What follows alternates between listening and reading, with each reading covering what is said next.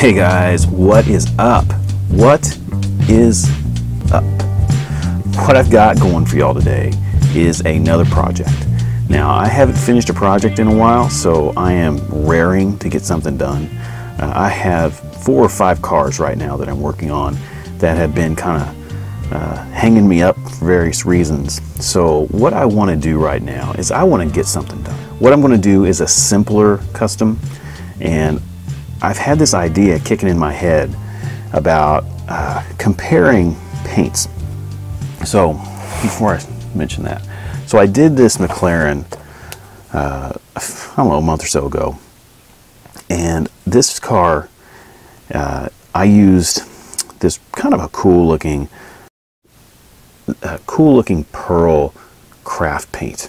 Now, I just recently put about six or seven coats of clear on this, and I think it looks pretty good. The clear smoothed out the paint a little bit. It's still a little, um, it looks orange peely, but it's not. It's just the paint that lies underneath the clear that kind of has that texture to it. So I'm not happy with the texture. I actually like the way the car turned out. Uh, the only issue I have with the paint is the texture that I see in it.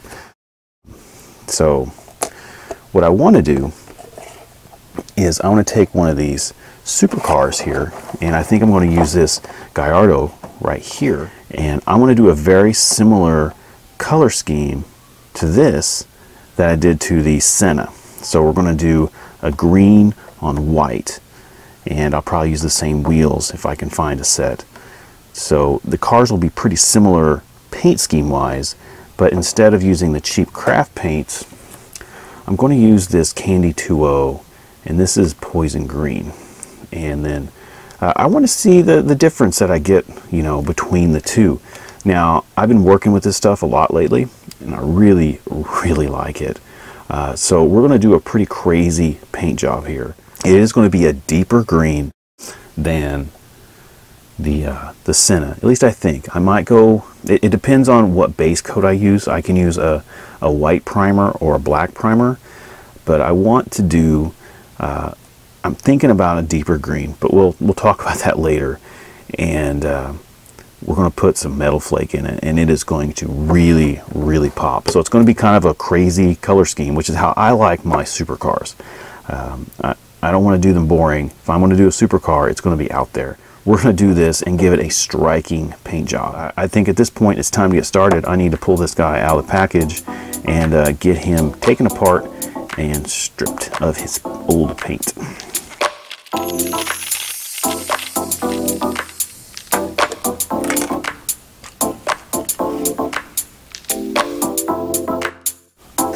Okay, so I'm getting ready to drill this guy out. I just wanted to mention uh, something I've been doing a lot more often with these newer castings is I start my uh, the hole I'm going to tap before I take the car apart. Uh, these, these newer castings have a nice divot in the mushroom there. See that? Yeah, there's a nice divot in that mushroom. It really helps you center that bit. And these newer castings, that post that's, that's underneath the base here is almost always perfectly straight. You can't really count on that with the older castings, but these newer ones are done uh, with uh, kind of such exactness that you can get away with that. So anyway, what I'm going to do now is I'm going to start my hole, which I'll finish it later. I don't want to go too deep now because you could go too far, but I will start the hole and then we will uh, finish taking that mushroom off.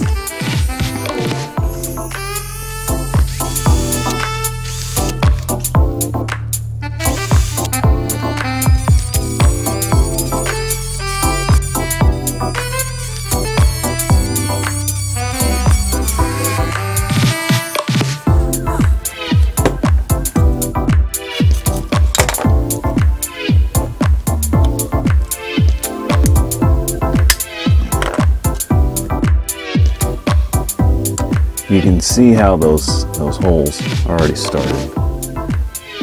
And it really makes tapping these posts out a lot easier. So, okay guys, I think we're ready to go. I've had this sitting for about 12 hours, uh, way longer than necessary. I think this was this was probably ready after about an hour, but uh, she's ready to go. So let's go ahead and move that over here.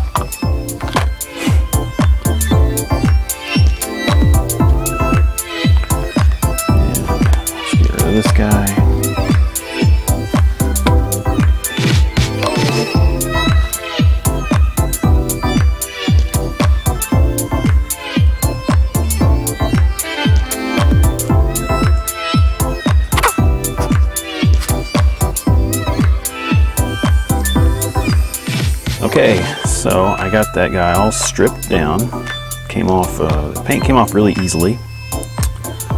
And I think we're ready to move on to the next step. And I, I'm gonna work this body over just a little bit.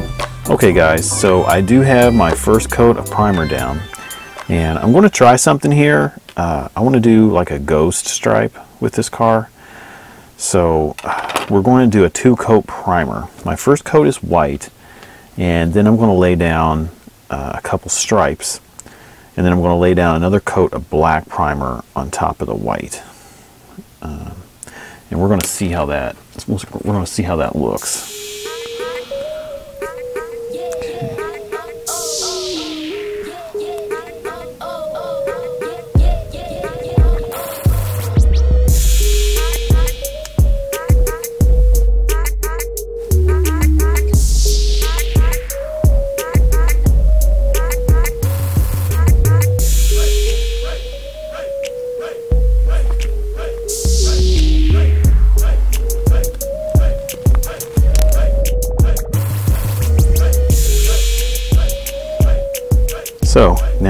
ready to put down a coat of black. Okay, so I got my black primer down and look how awesome this primer looks. I'm going to do a car here pretty soon in this primer color. Uh, this is, uh, what's the name of it? Rust-Oleum 2X black primer. You get at Walmart man, this stuff is awesome. Now, I've got the white primer. I don't like it as much. As a matter of fact, the, the white that was on this before was just the white primer. And it, it, it seems a little thicker and doesn't lay down as good as this black stuff. Man, this, this black primer is just awesome. And you could use it as a finish coat and then maybe put some, uh, you know, something like a, a Testors dull coat on top of that. Would look great. All right, so let's get that off. I need to get the uh, tape off.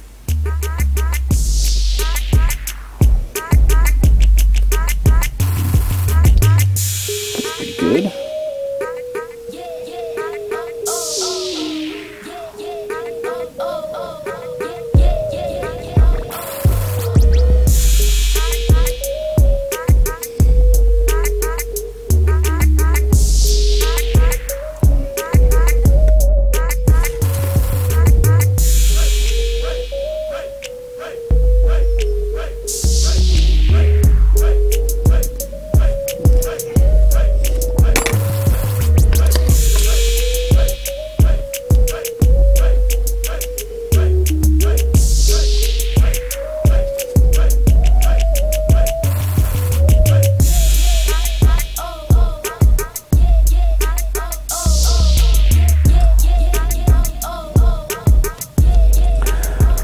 Guys, I have got the uh, stripes. I got my, my masking tape taken off and I gotta be honest with you, I'm pretty happy with how this turned out. Uh, I think the stripes look pretty uh, uh uniform.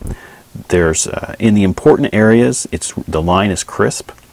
Now keep in mind it's black and white now, but this is not going to be black and white. This car is going to be green. So uh, the next step here is I got to mix up some paint and I'm going to do that, and then I'll see you guys in the paint booth. Hey guys, okay, we're going to go ahead and go into voiceover mode here because I wanted to talk a little bit about how I approached paint on this car because while I started out uh, with the idea of doing a simple car and the paint job just went completely off the rails. And I think I ended up with like five stages of paint and that's after the primer coats so uh, the paint on this car was a little bit complex, and it turned out it turned out great, I think. But um, I want to talk about it a little bit. So the first thing I did here is after the primer coats is that I added uh, a sort of a base coat of wicked aluminum. And what this does is when you sandwich a metal flake between your primer coat and your candy, uh, that metal flake, well, first it's going to add a little bit of flake to the candy. And but what it really does is that it adds a lot of depth between those two coats. Otherwise, the the candy actually looks a little bit flat on top of just a primer. So after after that sort of a base coat of metal flake, uh, then I applied my candy.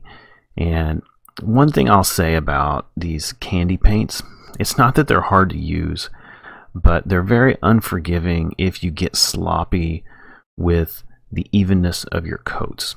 You, you really want to lay your coats down evenly and you and you need to be on the ball for every coat because if you don't, you're going to end up with a splotchy paint job or it's going to be uneven. Um, so how I handle that is I just I just have a pattern and I stick with it, and then you start out, uh, you know, just like any other coat of paint, you put down a tack coat, and then you go a little bit heavier. But one thing with candy is that the shade of the color changes the more you put it down. So have in your mind what color you're looking for and then you paint it until you get to that shade. If you keep going, it'll go past that shade. As a matter of fact, candy is an aniline dye. It'll go to black if you put enough coats on there. It gets that dark. So just keep that in mind. Uh, even coats and stop. Do not be afraid to stop once you get the color you're after. Now you'll also notice I kind of made a mistake with my base coats here, with my primer coats. Uh, now I mentioned that I was looking to do a ghost stripe and that was my intent. I wanted a real subtle change in color for the stripes, but my mistake is that I used two very disparate uh, colors of primer. I have black and white, and what I should have done is gone maybe white and gray or black and gray, and that would have given me a much more subtle stripe. Now, in the end, it, I, I, think it turned out fine. It, I, I, got no problem with it. It just it just wasn't exactly uh, what I was looking for. And it was really a bonehead move. I, I had the same uh, issue happen uh, on one of my test cars. But, you know, whatever. you live and you learn. So just keep that in mind. If you're wanting to do some sort of ghost, you know, pattern on your car, similar to what I'm doing here, uh, just keep your base coats similar in color, uh, and you'll be you'll be good. So anyway, uh, after the candy, uh, I went ahead and put down a flare tint on top of it. And again, this adds depth. Now, a lot of that metal flake I first laid down gets covered by the candy and it's it's muted a little bit. So if you put a flare tint on top of the candy, uh, that metal flake is really going to pop. What I'm using here is uh, it's uh, Createx Cosmic Sparkle Silver. You'll probably recognize this. Uh, old, old Blubs uses this a lot, and after using it, I can see why. It it's pretty damn amazing. It it just really it has a really strong effect. Let's just put it that way. It just adds a sparkle to your paint that you don't get, you can't get with just that base coat of of metal flake. That is pretty much my main coats. Now after this, you would normally clear and then put on your details. But here's something you have to keep in mind with candy is that, as I said, it's an aniline dye and what this has a tendency of doing is bleeding upwards. So say you have a blue candy paint and then you try to put a red uh, detail paint, say on the taillights, well, you're going to end up with purple taillights because that, that candy is just going to bleed right into your taillights. So you have to come over that candy with a uh, another coat that's going to seal it in. What I use to do that is a Createx Bleed Checker. You know, it's another one of their specific products, and uh, you really you really need it. It's basically an easy to apply urethane. You don't you don't mix it with anything. There's no you don't thin it. You don't add any um, any other additive. You, you take it straight from the bottle and put it into your brush and spray it. It's kind of a pain to spray. It does kind of gunk up my airbrush and that, that's kind of annoying. And you can't really do two cars in a row. Uh, it, it, gunks it up that fast. So you have to, you know, uh, put a couple coats on one car. You have to clean your brush out and then you go to another car. But you have to use this stuff if you want to put any details on your car or any other paint. Say you want to do a two-tone paint job uh, you have to use the bleed checker. Otherwise, you're going to end up with uh, really messed up colors. So after the bleed checker, uh, that's when I started laying down some clear coats. Now I like to clear coat over uh, my base coats before I put on details. That way it locks in those base coats. So say I, say I was getting a little messy with my details, uh, you can go back with a little bit of water and a paper towel and you can wipe that off. And if you've already uh, cleared your car, you protect your underlying paints. It's a good way to, uh, you know, just give you a little bit of breathing room uh, when you're doing some of that really fine painting. Uh, you know, if you're doing badges or door handles, stuff like that, which is really easy to get messy with. That that's about it for my base coats. After this, uh, we're going to go in and I'm going to paint some uh, some details in the interior and details on the body itself. So uh, let's get to that. I'm using a few new tools today, which is pretty cool. Uh, this is a new uh, new paintbrush for me. This is, uh, come on, focus up, buddy. So this is a new paintbrush. This is an Army Painter uh, Kolinsky. It's a Kolinsky Sable uh, paintbrush. I think it's a 2. It's either a 2 or a 0, but I think this is a 2. They had a smaller one at the store that was not going to hold any paint. It was going to be a pain in the ass to use. Uh, so I think this is a uh, Army Painter Kolinsky Master Class number 2. Uh, also, and this is kind of cool, I don't know if you see this, this is a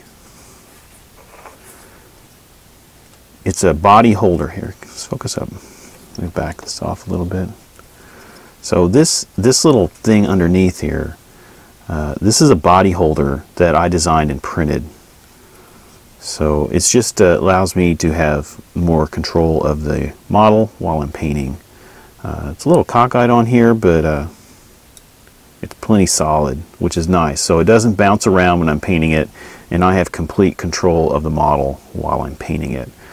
Um, so I've noticed a lot of guys while they're doing their details on their car, they like to prop the car up on the table like here and then come in and do their detail work uh, as a separate let me see here.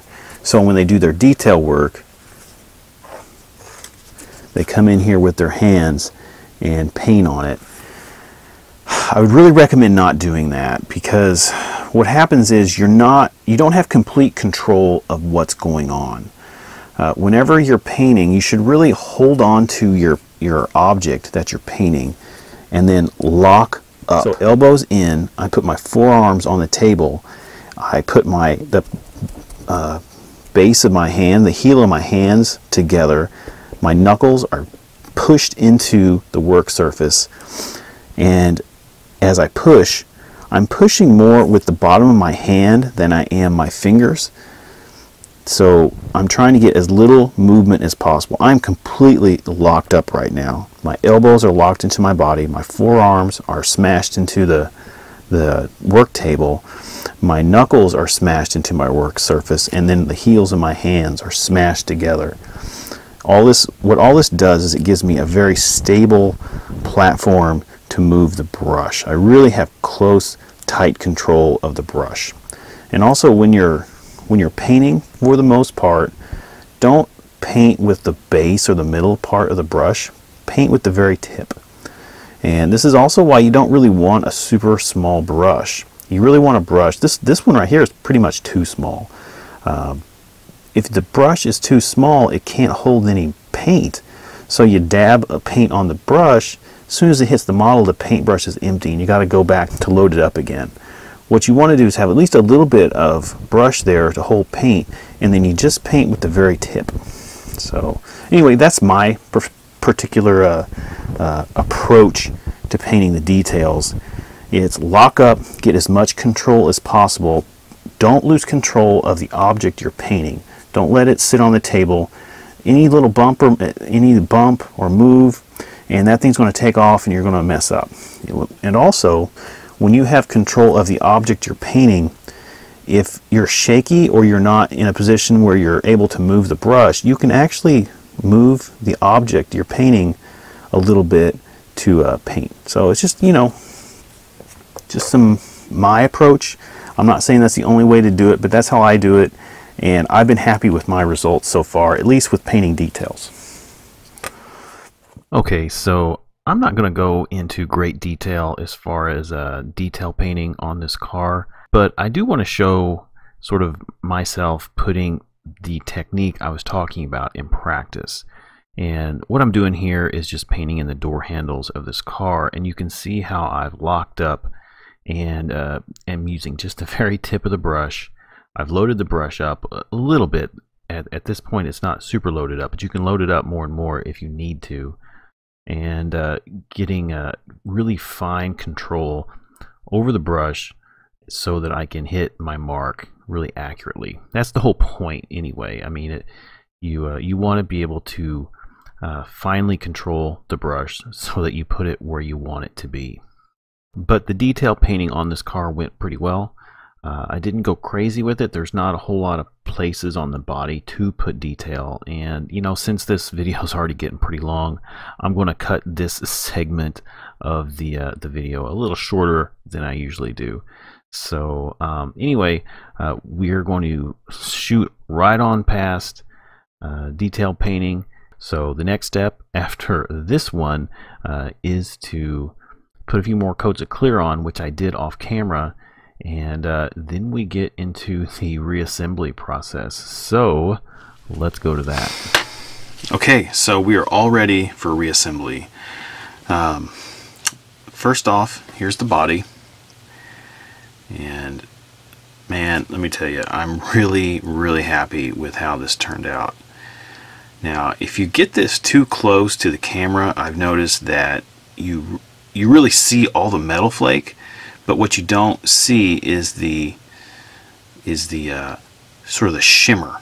You kind of have to have it in your hand and be at a certain distance to see the shimmer.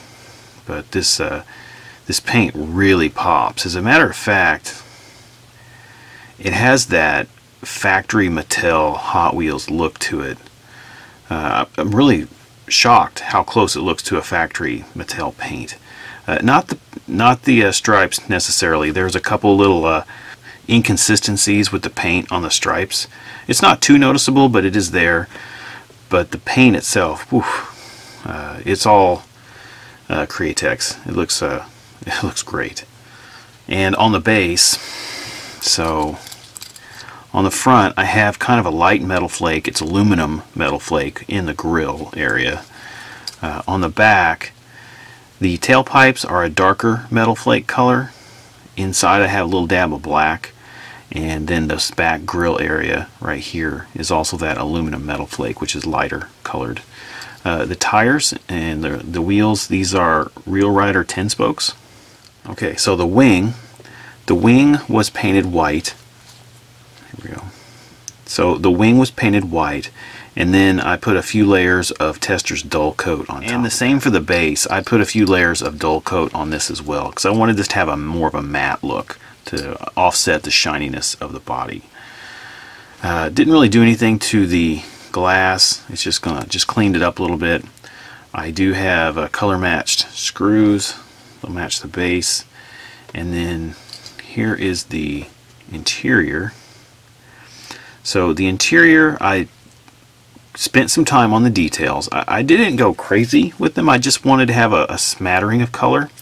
Uh, the engine bay was masked off and painted black. And then I just highlighted a couple different shades of metal flake in there.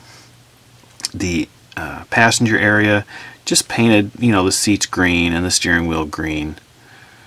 And uh, a few other spots of green. I do have some uh, some metal flake in the vents up here and on the uh, climate control controls and there's like a tweeter, a couple tweeters on the edges of the uh, dash. I also put a little dab of metal flake in there. And uh, then on top of that I put five or six coats of Createx clear. And let me tell you so I was not a believer in water-based clear coat.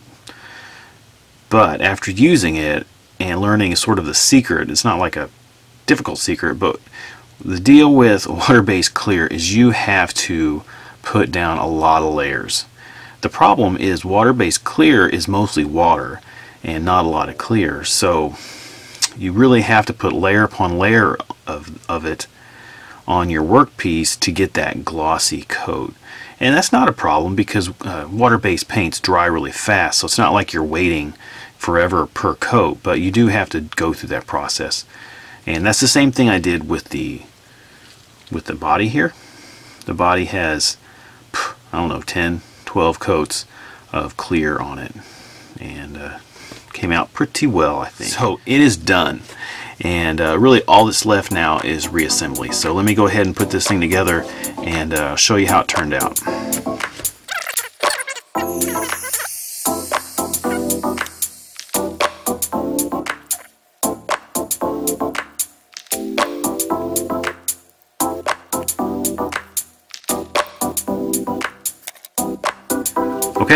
Go.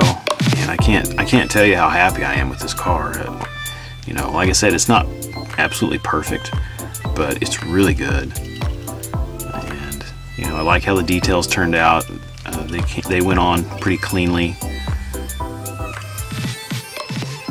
These uh, these wheels look great with this particular casting. And another thing is, I, am really I really like white interiors when you're doing these cars because uh, it really makes the interior stand out. But on top of that, it makes your details that you paint in the interior also stand out. And I don't know if you see, the, uh, the engine bay has some nice details that show up as well. Okay, so that's it. That is the Lamborghini Gallardo LP 570 4 Superleggera. Uh, done with Createx green candy with uh, uh, lots of metal flake and then a couple of racing stripes and a little bit of uh, and a little bit of love.